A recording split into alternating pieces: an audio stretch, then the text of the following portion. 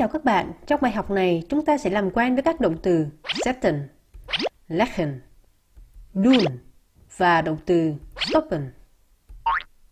Trước hết là động từ setzen, có nghĩa là đặt hoặc là để. Động từ setzen là động từ có quy tắc. Cách chia ở hiện tại của nó là set, set và setten. Quá khứ setter, setter, setten và thể quá khứ phân từ của nó ở thì hiện tại hoàn thành là z. Nếu các bạn đặt một vật hoặc là người theo phương thẳng đứng xuống dưới một mặt phẳng, ví dụ như những quyển sách này, thì chúng ta sẽ dùng động từ setten. Ví dụ như chúng ta xếp một quyển sách theo phương đứng vào trong kệ sách. Suzette had book in the cost. Cô ấy đặt quyển sách vào trong tủ sách. Thì khi mà dùng động từ set thì chúng ta biết rằng là cô ấy để quyển sách theo phương thẳng đứng. Hoặc là trong trường hợp này, Suzette had skinned of her skirt. Her skirt là trong lòng của cô ấy. Như vậy, người phụ nữ này đặt Hedkin là đứa bé theo phương thẳng đứng vào lòng của cô ấy. Cho nên ở đây mình cũng dùng động từ set. Ze zet het kind op haar schoot. Cô ấy đặt đứa bé vào trong lòng. Thỉnh thoảng chúng ta sẽ bắt gặp động từ near certain là động từ có thể tách rời. Nó cũng có ý nghĩa tương tự như động từ certain. Động từ near certain đôi khi được sử dụng để đặt một vật nào đó xuống một vị trí nhất định.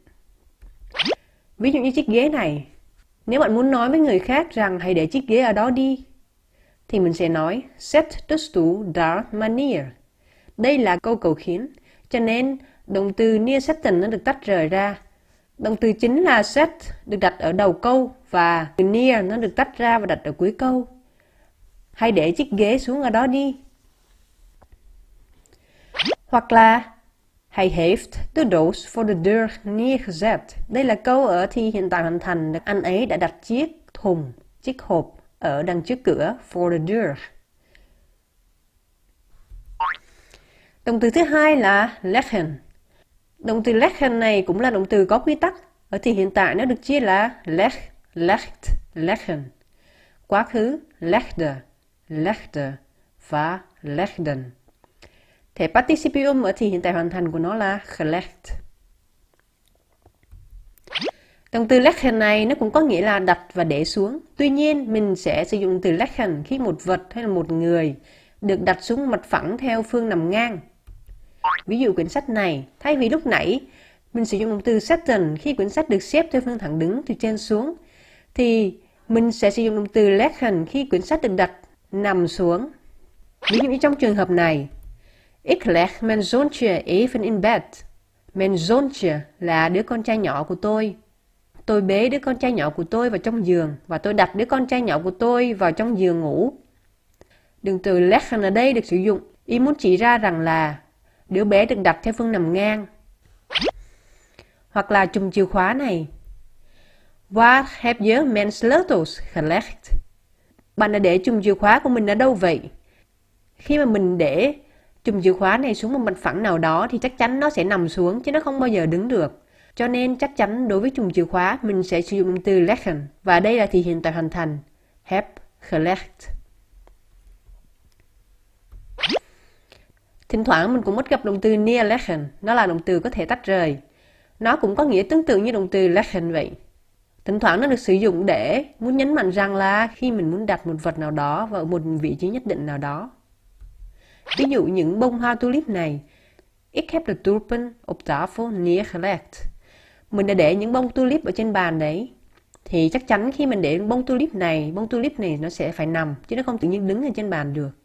Trừ khi mình đặt nó vào trong bình hoa hoặc là mình cắm nó lên một cái gì đó thì nó mới có thể đứng được. Còn khi mình nói rằng mình để những cái hoa tulip ở trên bàn rồi thì mình sẽ được hiểu ngầm là nó được đặt nằm. Lech het boek dar manier. Đặt quyển sách xuống đó đi. Dar. Động từ tiếp theo của chúng ta là dun. Ở thì hiện tại là do, dut, dun. Quá khứ date, date, deden. Và thể participium của nó ở thì hiện tại hoàn thành là gedaan. Tuy nhiên trong bài này mình sẽ làm quen một nghĩa khác hơn của động từ dun.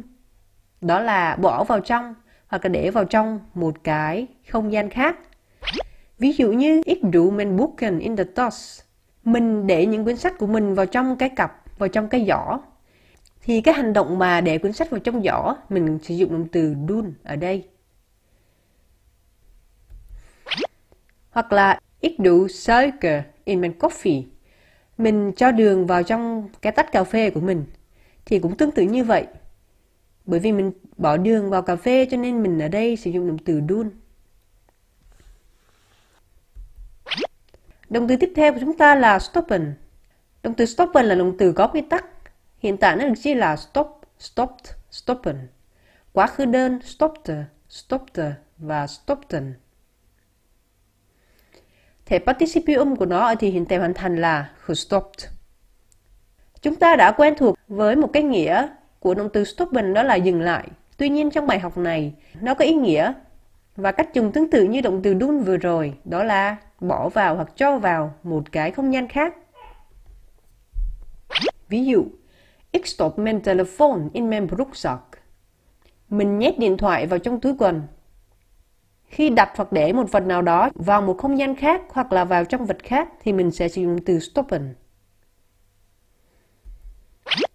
Ik heb mijn sleutels in mijn tas gestopt. Trong trường hợp này cũng tương tự như vậy. Cái chùm chìa khóa của mình. Mình đã để cái chùm chìa khóa của mình vào trong cái giỏ của mình.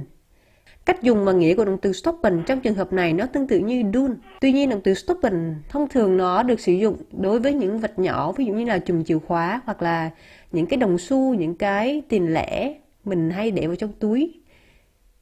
Thì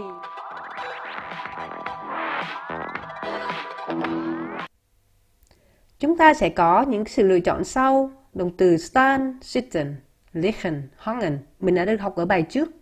Này mình đã học về leggen, zetten, doen và stoppen. De borden. Al op tafel. Maar ik moet het bestek er nog naast. De borden, những chiếc dĩa. All op tafel, nghĩa là đã nằm trên bàn rồi. Maar ik moet, nhưng mà mình phải. Het bestek đó là cái muỗng nĩa và dao. Er nog naast là đặt ở kế bên. Như vậy câu này muốn nói rằng là à, những chiếc dĩa thì đã được đặt ở trên bàn rồi nhưng mà mình vẫn phải đem cái bộ muỗng nĩa dao ra để kế bên đó. The burden nó được đứng trên chân của nó cho nên mình sẽ sử dụng từ stand ở đây. Và ở đây the burden nó là số nhiều cho nên mình chia là stand. Ở vế thứ hai, head bestek, head bestek là dao, muỗng và nĩa. Thì chắc chắn là nó sẽ không đứng bằng chân ở trên bàn được mà nó phải để nằm.